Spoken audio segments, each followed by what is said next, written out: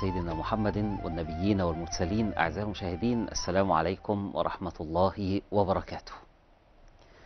نواصل أعزائي المشاهدين حديثنا عن فساد الفكر والغرض الأساسي من هذا الحديث ومن كل حواراتنا أن ننظر إلى حالنا وإلى واقعنا وإلى مجتمعنا وإلى سلوكنا فنقيم كل ذلك, كل ذلك على كتاب الله وعلى سنة نبيه صلى الله عليه وسلم.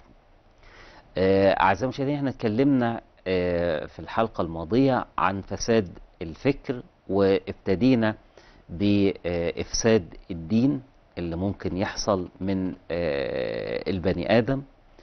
وابتدينا في إفساد الدين وشفنا أول حاجة ممكن تعتريها يعتريها الفساد بالنسبة للدين هو سوء الاعتقاد أو عدم الاتباع. وكنا بنقصد بده ان ربنا سبحانه وتعالى خلق الإنسان ليعبده يعبده وحده لا شريك له. فالانسان من أول سيدنا آدم كانت فطرته هكذا وكان ينبغي أن يستمر على هذا وألا يخالف ما استخلفه الله إياه وألا يغير فطرته التي فطره التي فطرها الله عليه. إنما إيه اللي بيحصل؟ الشيطان في الجانب الثاني يريد أن يغير يريد أن يبدل يريد أن يدفع الناس عن الحق دائما. وهذا قسمه بين يدي الله أقسم على ذلك. فحتى يكون هناك توازن ربنا سبحانه وتعالى أرسل رسله للناس حتى يذكروهم بما نسوه. ماذا الذي نسوه؟ نسوا عبادة الله نسوا أن أرض خليفة نسوا أن منهج الحياة لا يكون ولا يقوم إلا كما أراده الله وكما علم الله آدم عليه الصلاة والسلام. الرسل تأتي تقاوم الفساد اللي موجود كلية وترد الناس إلى إيمانهم بالله سبحانه وتعالى. لما الإيمان يكون موجود هتبقى الاستجابة لدعوات الإصلاح قائمة والجهد والروح والمبادرة لإنهاء الفساد أو التخلص من الفساد هتبقى كل الحاجات دي موجودة. تأتي الرسل ولكن الشيطان لا يزال قائما فيؤمن من يؤمن بهم ويكفر من يكفر بهم وفي ظل الإيمان والكفر أهل الكفر دايما يريدوا أن يعلوا أصواتهم بكل ما يستطيعون فتارة يسبون أنبياءهم يقاومونهم يتهمونهم باتهامات باطلة يؤذونهم وقد يصل الأمر كما وصل مع بعض النبيين إلى قتلهم والتخلص منهم. الفساد ده أعزائي المشاهدين اللي بيتعلق بالاعتقاد أو اللي بنسميه فساد الاتباع أصلا ملوش مقاومة ابدا غير إن يجي رسول يذكر الناس. والناس لها الاختيار إما أن تؤمن وإما أن تكفر.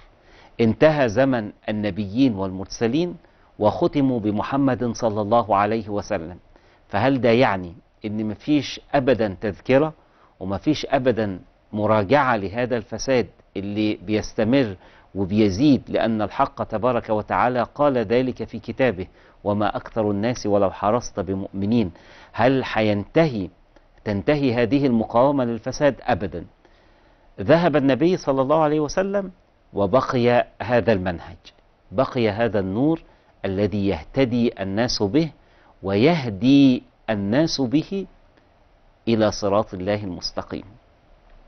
طيب يظل الأمر بالنسبة لهذا الجزء من الفساد مفيش جبر مفيش قهر مفيش إكراه أبدا.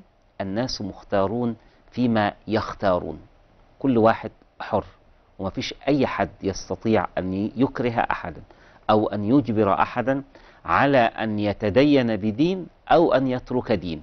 مفيش الكلام ده خالص. هذا في ديننا. يستحيل أن يكون هذا. وربنا سبحانه وتعالى قال للنبي صلى الله عليه وسلم أفأنت تكره الناس حتى يكونوا مؤمنين؟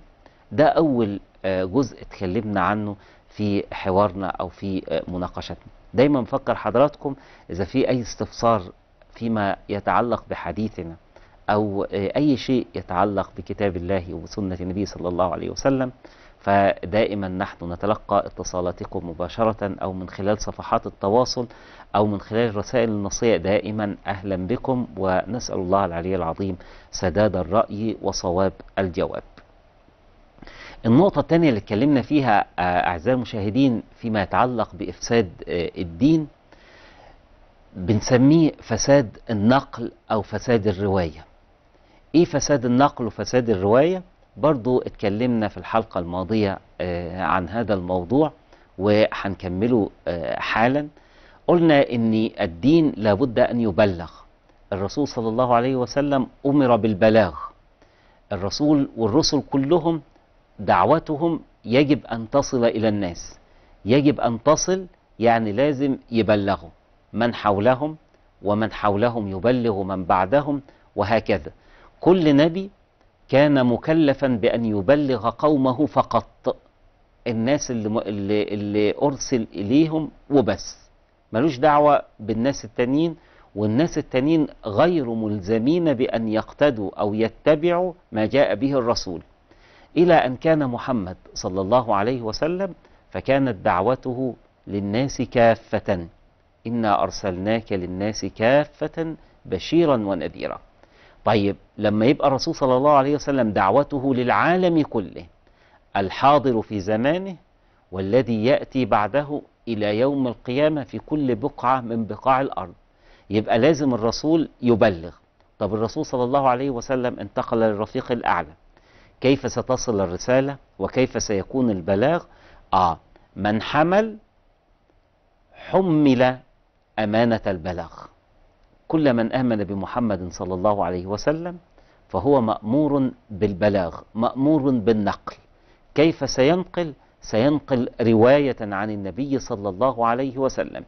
اللي سمعه ينقله بالظبط اللي شافه ينقله بالظبط الذي حفظه يحفظه للناس ويلقنهم إياه تماما بتمام. الجزء ده أعزائي المشاهدين حصل فيه إفساد كتير جدا جدا جدا. ليه حصل فيه إفساد؟ هقول لحضراتكم.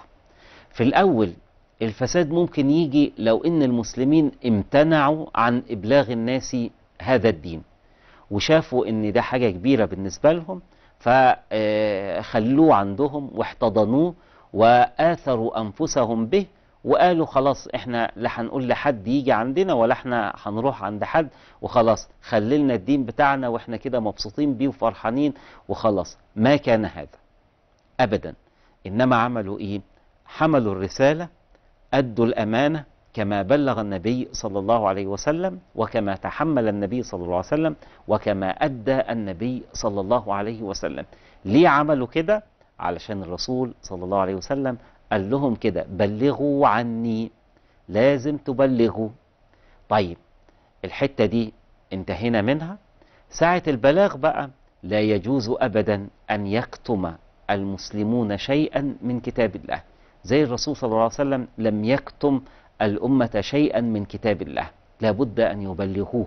ما ينفعش يكتموا الحق أبدا الذي أخذوه عن رسول الله صلى الله عليه وسلم قرآنا وسنة. الكتمان أعزائي المشاهدين مصيبة كبيرة جدا. إن الذين يكتمون ما أنزلنا من البينات والهدى من بعد ما بيناه للناس في الكتاب أولئك يلعنهم الله ويلعنهم اللاعدون ما ينفعش أبدا يبقى في كتمان والصحابة ما كتموا شيئا سمعوه ولا تعلموه عن النبي صلى الله عليه وسلم. طب الحاجة التانية اللي ممكن تيجي في آه النقل وتمثل إفساد كبير جدا إن الناس هم بينقلوا لا يتحروا الدقة ولا يتحروا المصداقية في النقل. الموضوع ده أعزائي المشاهدين الرسول صلى الله عليه وسلم حذر منه وقال كده لكل من آمن به من كذب علي متعمدا فليتبوأ مقعده من النار.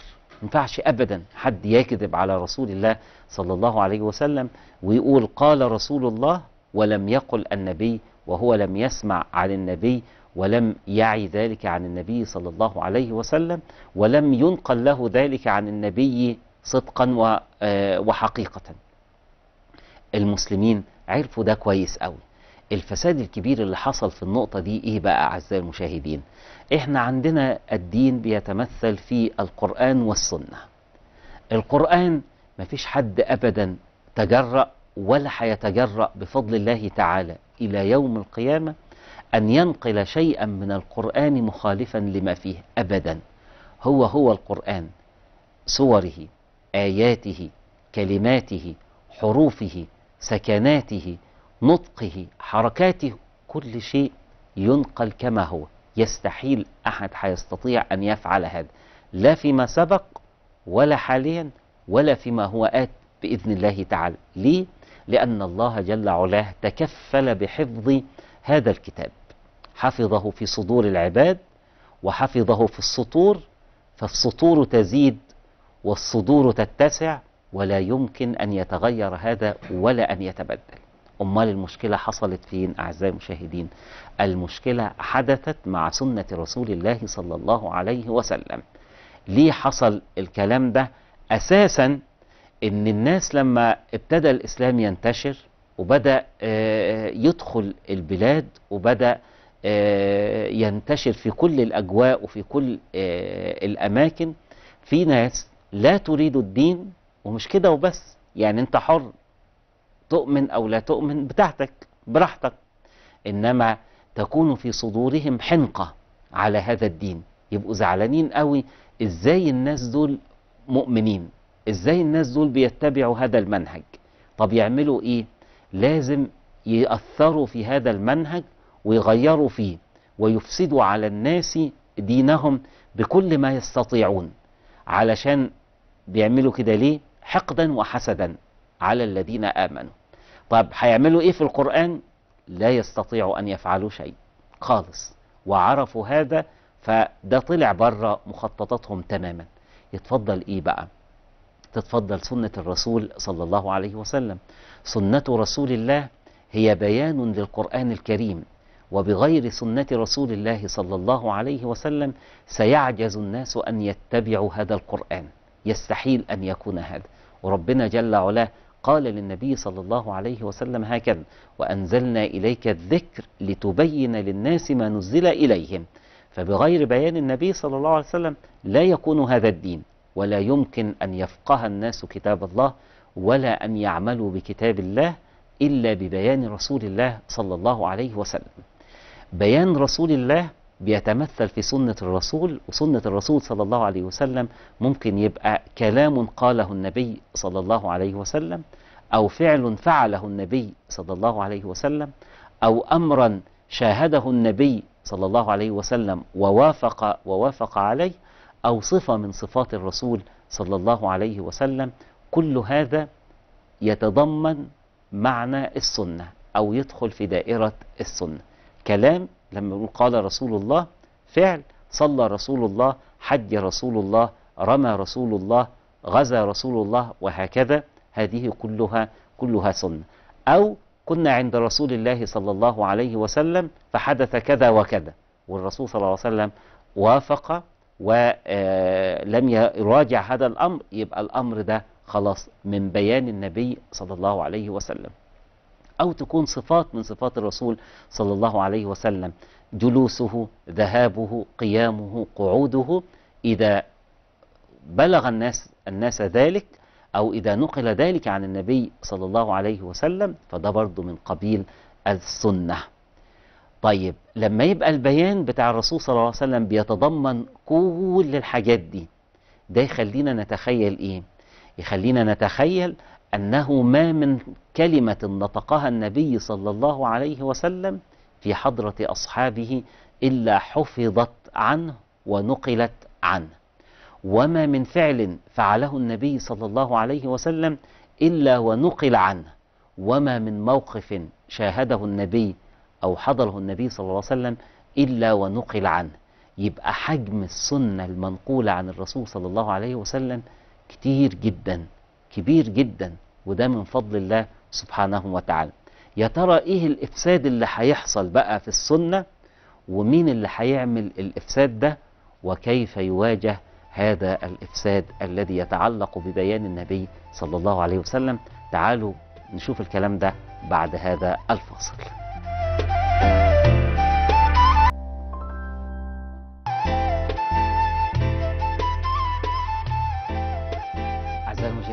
عدنا مع حضراتكم حتى نواصل حديثنا عن فساد الفكر وأول نوع من أنواع الفساد اللي بيتعرض له الفكر الفساد المتعلق بالدين وبنكمل حوارنا. فشفنا أن نقل الدين اعتراه بعض الفساد بما أراده الناس أو بما مكر الناس أو بما أفسد الناس وده كله إحنا بنتابعه. إيه اللي حصل بقى اعزائي المشاهدين في آه، الرواية عن النبي صلى الله عليه وسلم؟ آه الناس بقى اللي دخلوا في الإسلام آه واللي حواليهم اللي رفضوا الإسلام منهم منافق ومنهم حاقد ومنهم باغي ومنهم ظالم ومنهم حاسد وهكذا. يعملوا إيه الناس دول؟ آه لازم نبوظ على المسلمين دينهم. هيبوظوه إزاي بقى؟ أخذوا ينقلون بين الناس كثيرا من الكلمات ينسبونها للنبي صلى الله عليه وسلم. سواء كان بقى قول كان فعل. يعني هم عارفين إن المسلم أول ما يسمع قال الله أو قال الرسول على طول يروح واقف. ليه؟ يتبع. ما عندوش غير كده. وهو مأمور بهذا وهو يحب هذا. فلما المنافقين والكفار والمبغضين والحاسدين عرفوا الكلام ده قالوا طيب ما خلاص ما تيجي بقى نودي الناس دول في داهية ونلبس عليهم دينهم ونفسد لهم أمرهم بأن إحنا ننقل كذبا عن إيه؟ عن رسول الله. فانتشر الكلام ده بدرجة كبيرة في هذا الزمان. يروي الناس عن النبي صلى الله عليه وسلم كذبا. ليه؟ من باب الحقد من باب الحسد علشان هم عارفين إن المسلم هيسمع الكلام ده. فلما يقولوا له حاجة غلط وقبلها قال الرسول يبقى كده المسلم هيعمل وهينفذ ويبقى كده إفساد كبير قوي آه، حصل. انتشر الكلام ده أعزائي المشاهدين وربنا سبحانه وتعالى قيض لهذا الدين من يقومون على هذا الأمر ويقاوموا هذا الفساد. عملوا إيه بقى؟ الناس دول اللي ربنا سبحانه وتعالى قيضهم لهذا الدين واللي جندهم رب العزة سبحانه وتعالى ليقاوموا هذا الفساد. من البداية من البداية خدوا بالهم من الكلام ده؟ إن ممكن حد ينقل عن النبي صلى الله عليه وسلم كده وهو يعني قال رسول الله من غير ما يبقى واخد باله ولا الكلام ده كله دي لها مقاومة.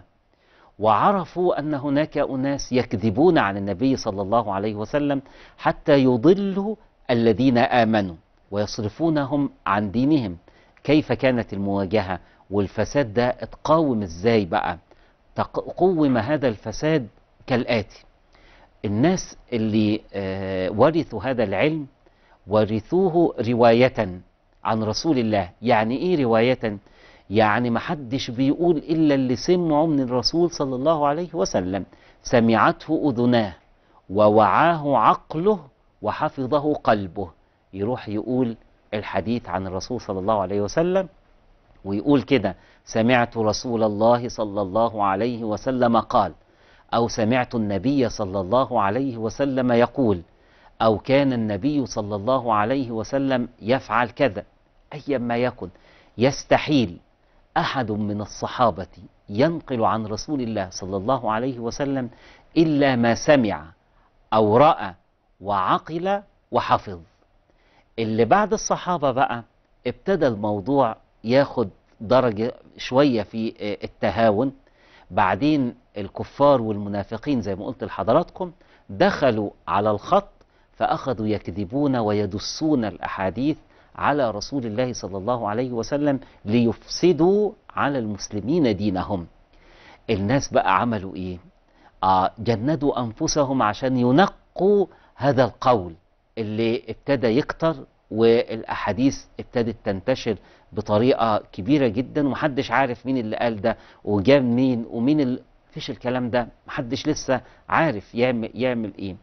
فكان هؤلاء الرجال هؤلاء الجنود هؤلاء العظام قاموا على كل أحاديث رسول الله صلى الله عليه وسلم كل في عصره وكل في جهده. أخذوا يبحثون عن الأحاديث اللي بيسمعوها واللي بيتداولها الناس. كل واحد يسمع حديث يروح واخده. وبعدين يشوف مين اللي قال الحديث ده؟ آه مين فلان دوت؟ حد يعرفه؟ أنا أعرفه؟ أنت تعرفه؟ آه يسأل عنه ويبحث عنه ويتحرى عن صفاته وعن أخلاقه. وبعدين يشوف هو سمعه من مين سمعه من مين لحد ما يوصل للنبي صلى الله عليه وسلم ومن قبله الصحابي. طب الكلام ده هيتعمل في قد إيه؟ واتعمل في عمل قد إيه؟ الأحاديث اللي كانت موجودة أعزائي المشاهدين يمكن بعد الرسول صلى الله عليه وسلم بفترة قصيرة جدا بلغت مئات الألوف من الأحاديث. 400 ألف 600 ألف أو يزيد. هذه الأحاديث كلها دخلت ضمن هذه التصفية ودخلت في هذه المراجعة. هذه المراجعة التي لم يوجد لها مثيل من قبل وحتى الآن أتصور أنه لا مثيل لها. قواعد اتحطت علشان العلماء يتأكدوا أن الحديث ده قيل عن النبي صلى الله عليه وسلم وينسب للنبي صلى الله عليه وسلم حقيقة. وفي ظل هذا الجهد العظيم حطوا قواعد في منتهى الرقي وفي منتهى الوضوح وفي منتهى الصرامة على من يتكلم وعلى الكلام الذي يتكلم به الاتنين على حد سواء. اتحط علم اللي هو علم الحديث. وأصبح في وقت قريب ما بين ذلك وما بين النبي صلى الله عليه وسلم يمكن بضع مئات من السنين فقط مش عايز أستطرد في التواريخ إنما عشان حضراتكم تبقوا مطمئنين. كل شيء قيل عن النبي صلى الله عليه وسلم وده زي ما قلت لحضراتكم تجاوز مئات الألوف. كل حاجة قيلت عن النبي صلى الله عليه وسلم دخلت في هذه المصفاة وتلك المراجعة وطبقت عليها قواعد علم الحديث اللي بقى بعد كده اللي هو علم الرواية. عرف به الرجال كل واحد يقول عن الرسول صلى الله عليه وسلم لازم يتعرف هو مين. ما تعرفش يبقى يتشال هو واللي بيقوله. كل رجل كل امرأة كل صحابي كل تابعي كل واحد تكلم عن النبي صلى الله عليه وسلم له مرجع هو مين؟ اتولد إمتى؟ اتولد فين؟ اتعلم فين؟ من شيوخه؟ من تلاميذه؟ ماذا روى؟ وكيف روى؟ وحالته كانت إيه؟ وعاش قد إيه؟ كل شيء عرف عنه. وده اللي بيسموه أهل الحديث وعلماؤه علم الرجال. ودي حاجة يعني نادرة الحدوث وإن لم يكن الحق إن مفيش حاجة زي كده حصلت في تاريخ البشرية أبدا ولا أتصور إنها هتحصل بعد كده. ليه؟ علشان يتحروا حديث النبي صلى الله عليه وسلم وبذلك قاوموا الفساد وورثوا الأمة من بعدهم هذا الحديث ما بين حديث صحيح مضمون مئة في المئة أنه مروي عن رسول الله صلى الله عليه وسلم ومش كده وبس في أحاديث يمكن مضمونة تسعين في المية. ما سابوهاش وما قالوش إنها مضمونة مية في المية إنما بقت في درجات للحديث. بقى في حديث صحيح وبقى في حديث حسن وبقى في حديث ضعيف وهكذا درجات كتيرة جدا للأحاديث علشان يورثوا الناس هذا العلم والناس تعرف كيف حفظ الله هذا الدين بيده. وبأمره وبجند من عنده وده القرآن الكريم. بأمره وبجند جندهم من عباده وهذه سنة النبي صلى الله عليه وسلم. ده مش كده وبس الناس دول كانوا عظماء. عملوا إيه؟ ما قطعوش الأحاديث التانية وما حرقوهاش وما رموهاش ولا حاجة خالص إنما تركوها ووضعوا لها درجاتها. يقول لك ده حديث موضوع. يعني إيه؟ يعني الحديث ده مكذوب عن النبي صلى الله عليه وسلم. واللي كذب فيه فلان ابن فلان ابن فلان. إيه ده؟ إيه الجمال ده؟ إيه العظمة دي؟ إنها ليست جهودهم. هو جهدهم فقط ولكن النتاج بأمر الله سبحانه وتعالى. فكان عندنا من الصحيح الذي جمع إلى النبي صلى الله عليه وسلم منسوبا ومسندا أحاديث كثيرة بالنسبة لعدد الأحاديث كلها قليلة جدا إنما بالنسبة لفائدتها كثيرة جدا وتكفي المسلم. كان من ضمن هؤلاء ومن أعظمهم ومن أعلاهم هذا الكتاب العظيم الذي أسند لرسول الله صلى الله عليه وسلم واللي بنقول عليه أو بنسميه صحيح البخاري. ومن بعده تلميذه مسلم عليهم جميعا رحمات الله وسلامه. كل دول عملوا إيه؟ كل دول قاموا على حديث النبي صلى الله عليه وسلم علشان يقاوموا فساد النقل ويقاوموا فساد الرواية. بالتأكيد أعزائي المشاهدين لما الناس تشوف الجهد ده وتشوف العلم ده وتشوف النتيجة النتيجة ديت لا يزال الحقد في قلوبهم إلى اليوم. ولا يزال هكذا.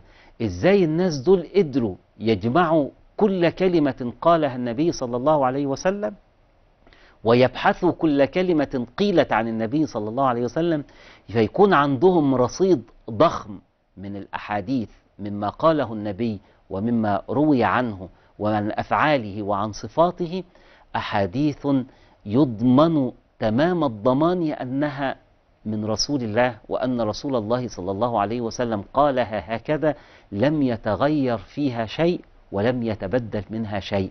طبعا الحقد والحسد أكيد هيبقى موجود على هذه الأمة عشان يوصلوا لحاجة زي كده.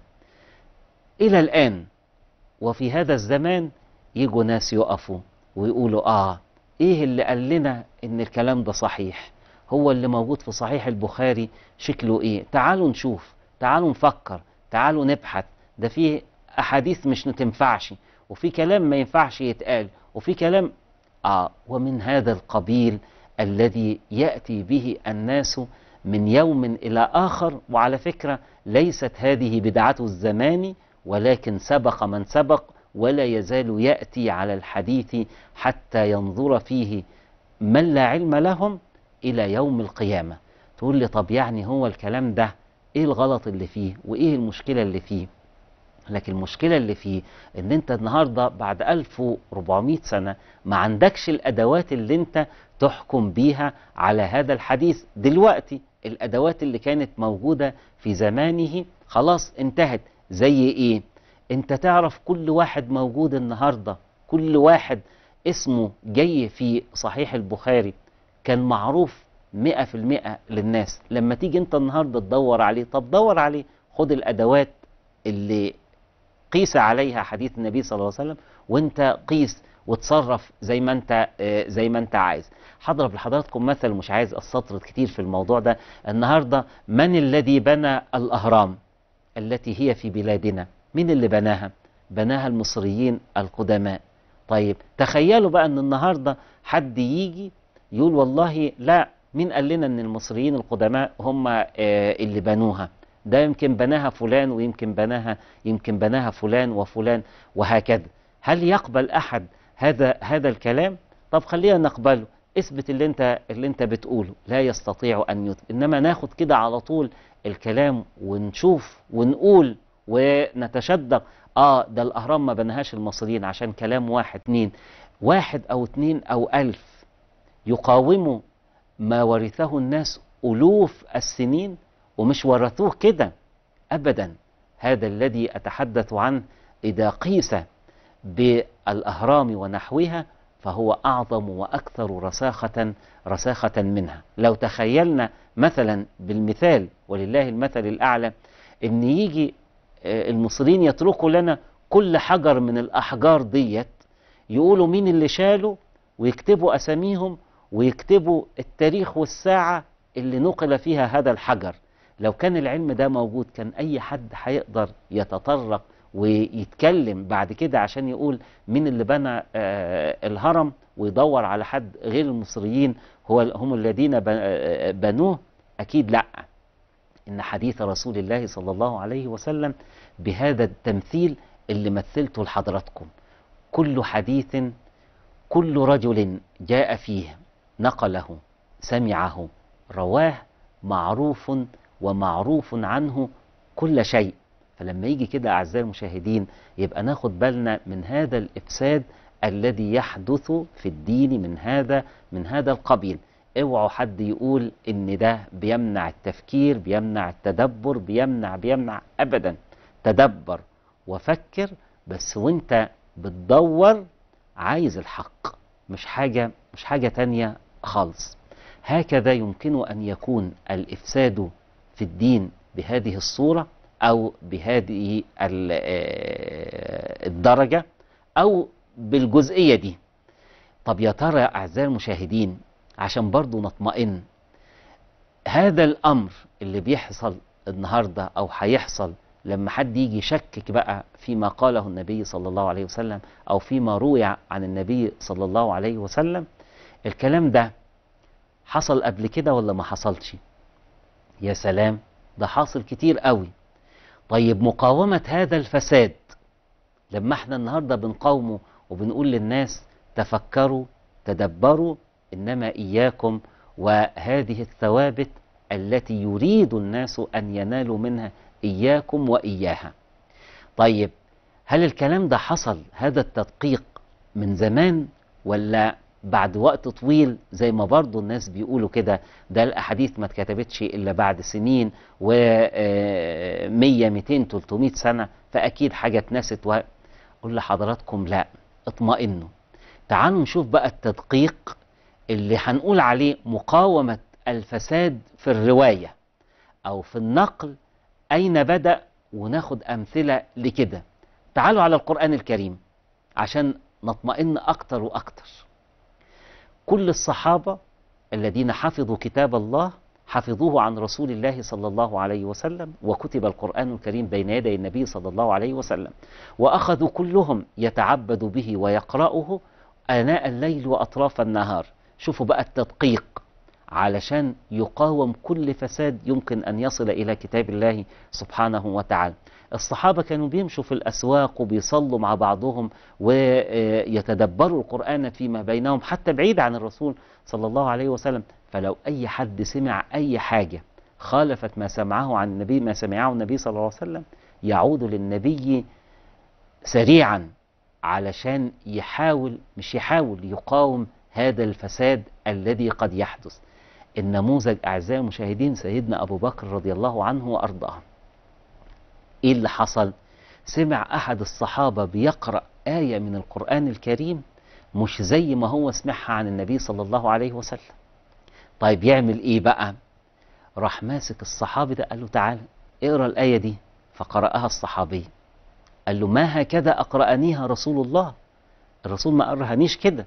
تعالى راح ماخده وراحوا للرسول صلى الله عليه وسلم وسيدنا عمر قال للرسول يا رسول الله إنه يقرأها على غير ما علمتنيها.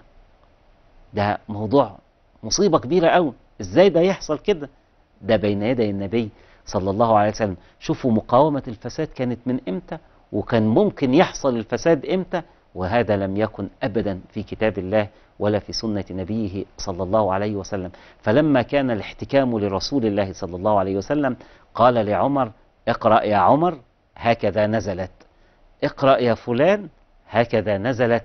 فكان هذا بيان النبي صلى الله عليه وسلم. ومقاومة الصحابة لمثل هذا الفساد الذي قد يحدث في النقل وفي الرواية. ده بالنسبة لإيه؟ ده بالنسبة للقرآن الكريم. ولم يكن شيء أبدا.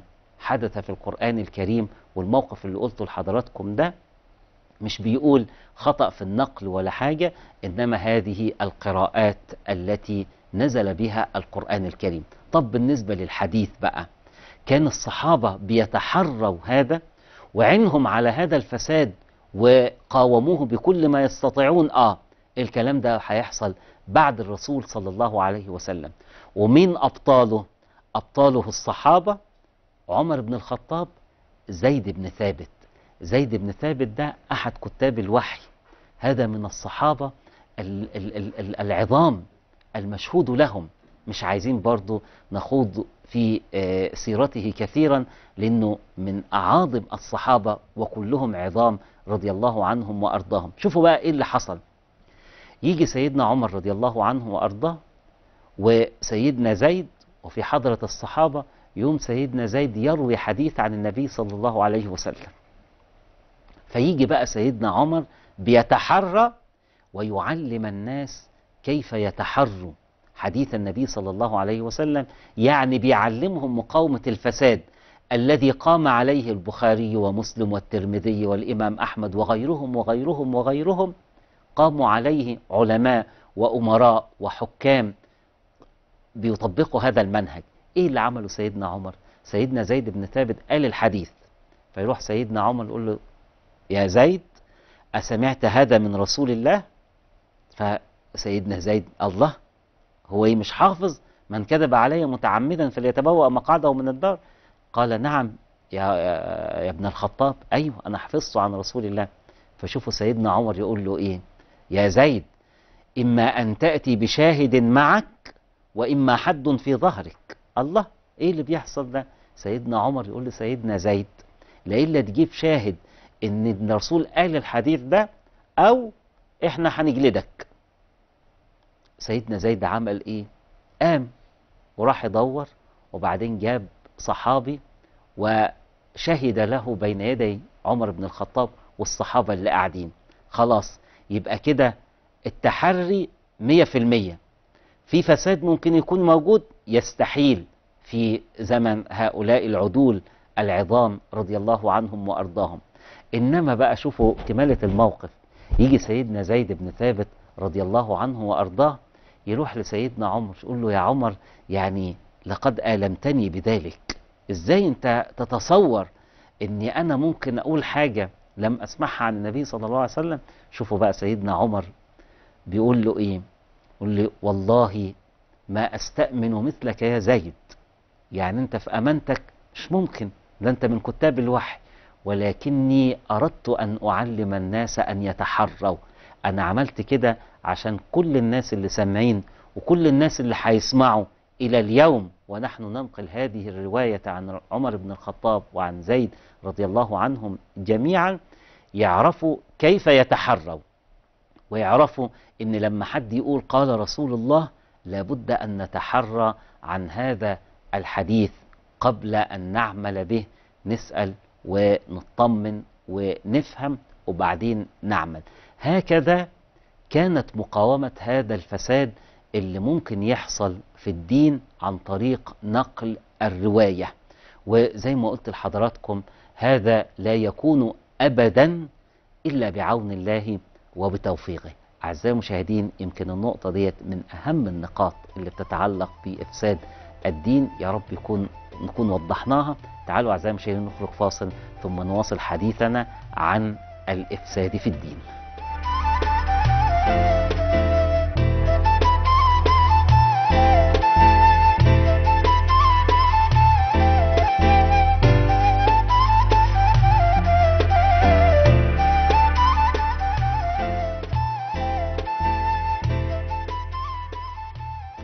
المشاهدين عدنا لنواصل حديثنا مع حضراتكم فيما يتعلق بالإفساد اللي ممكن يحصل في آه، الدين وكيفية مقاومة هذا الإفساد. نيجي لنقطة تانية أو ملاحظة تانية. طبعا ال- الموضوع ما هوش محاضرة وعناصر والكلام ده كله إنما ما زلنا في نقاش. الحاجة التانية اللي ممكن تحصل أعزائي المشاهدين أو يفسدها الناس في دينهم أي التبديل. يعني إيه التبديل؟ يعني يغيروا ويبدلوا في دينهم زي ما هم عايزين بهواهم الدين بتاع مين أعزائي المشاهدين؟ الدين بتاع ربنا سبحانه وتعالى إن الدين عند الله عند الله الإسلام طيب ما دام الدين بتاع ربنا وهذا دين سماوي يبقى ما فيش حد أبدا يكون له الاختيار إنه يبدل حاجة ولا يغير حاجة يشيل حاجة ولا يحط حاجة ليس لأحد أن يفعل هذا أبدا طيب هذا الموقف حصل في آه، تاريخ الأمة الإسلامية على ما أتذكر مرة واحدة. إيه اللي حصل بقى؟ الناس اختاروا إن هم يكونوا مسلمين اختاروا إن هم يكونوا يكونوا مؤمنين. طيب خلاص حد ضربكم على إيدكم؟ لا. حد أكرهكم على هذا؟ لا. حد جبركم على ده؟ لا. إنما بعد ما دخلوا بقى في آه، في الإسلام وانتقل الرسول صلى الله عليه وسلم إلى الرفيق الأعلى الناس دول ابتدوا بقى إيه يبدلوا ويغيروا في دينهم في الإسلام. يعملوا إيه؟ المثل إيه؟ قالوا والله ربنا قال أقيموا الصلاة وآتوا الزكاة. الزكاة كان بياخدها الرسول. دلوقتي ما فيش رسول. يبقى خلاص ما فيش زكاة. أقيموا الصلاة وبس. ما فيش زكاة في الإسلام. مش هندفع زكاة. وإحنا مسلمين. محدش له حاجة عندنا. آه. هو ده بقى الايه هو ده بقى التبديل هو ده الفساد اللي ممكن يحصل أو يفسده الناس في دينهم. تعالوا نشوف آه، أختنا فاطمة معانا. فاطمة من الإسكندرية أهلا بيكي أهلا بحضرتك ازي حضرتك؟ أهلا وسهلا أهلا بيكي الله يخليك. فضيلة الشيخ لو سمحت أنا عايزة أتبرع بالكليه بتاعتي لمستشفى وادي النيل في القاهرة. آه. عشان عايزة أي حد يشتريها عشان أختي عايزة تعمل عملية. ومعيش فلوس خالص ان أنا اعملها لها. فأنا ممكن ابيع فص من كبدي وكليتي عشان أختي تعمل عملية أختي قربت تفقد سمعها. وهي مولودة بإعاقة. فأنا. مش قادرة أستحملها عندها إعاقة وكمان هتبقى طرشة. يا ريت حد بس يسمع ندائي ويشتري مني كليتي وفص من كبدي كله حتى يشتري لي كله. يعني انت عايزة تبيعيها عشان تاخدي الفلوس أو تتبرعي عشان تاخدي الفلوس لا أو أو تستنى في مستشفى اللي في القاهرة وادي النيل عشان هنا وزارة الصحة مش عارفة تعملها لها. آه. عشان هي مولودة باعاقه وزارة آه، مستشفى وادي النيل تاخد الفلوس وتعمل لي عملية. أي حد يشتري كليتي. يعني انت عايزة يا اخت فاطمة واحد انت عايزة تبيعي الكلية علشان أختك هتعمل عملية. مش أيوه كده عشان أختي تعمل عملية. آه أختي مولوده باعاقه وقربت تتطرش. الصوت أكل ودنها. آه وعملية خطيرة. قوي هنا مش عايزين يعملوها لها. تمام. لا تفعلي هذا ابدا. ابدا ابدا. طب أنا أعمل إيه لفيت على الدنيا كلها جسمنا ده- وعملت كل حاجة. جسمنا دوت مش ملكنا ده بتاع ربنا سبحانه وتعالى. إذا كان تبرع فده يعني الباب أهو آه، ما من أجازه من العلماء. إنما عشان تبيعيها وتعملي عشان تاخدي فلوس إياك تفعلي هذا ابدا لا أنت ولا أي حد من السادة ال- المشاهدين. أما حاجتك فده موضوع موضوع تاني. اللي محتاج ده موضوع تاني. ارجوكي سيبي تليفونك آه، في الكنترول وإن شاء الله تعالى ربنا هيجد لك آه، فتحا وما تعمليش كده ابدا. لا أنت ولا أي حد محدش يبيع حاجة من جسمه اطلاقا. سيبي آه، تليفونك في الكنترول وإن شاء الله تعالى ربنا سيجعل لك مخرجا إن شاء الله. آه، نرجع أعزائي المشاهدين آه، لموضوعنا تاني وبنتكلم عن الإفساد اللي ممكن يحصل في الدين ومقاومته. الناس دول عملوا إيه بقى أعزائي المشاهدين؟ بدلوا دينهم أو أرادوا أن يبدلوا دينهم. يعني اللي عايزينه ياخدوه واللي مش عايزينه ما ياخدوهوش. هذا لا يجوز ابدا. هم دول اللي سيدنا أبو بكر رضي الله عنه وأرضاه. والصحابة مجمعين على رأيه قاتلوا هؤلاء حتى يردوهم عن هذا الذي فعلوه.